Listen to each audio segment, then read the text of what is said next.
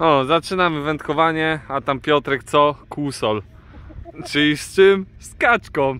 Jak? Tego nikt nie wie, ale jest. Dawaj ją! Jak tam Piotrek pierwsza kaczka w życiu? O, jaka duża!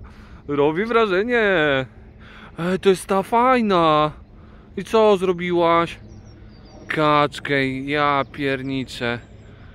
No ładnie, zapięła się idealnie, nie? W dolną wargę. Daj tą wędkę. No tak wychacz ją.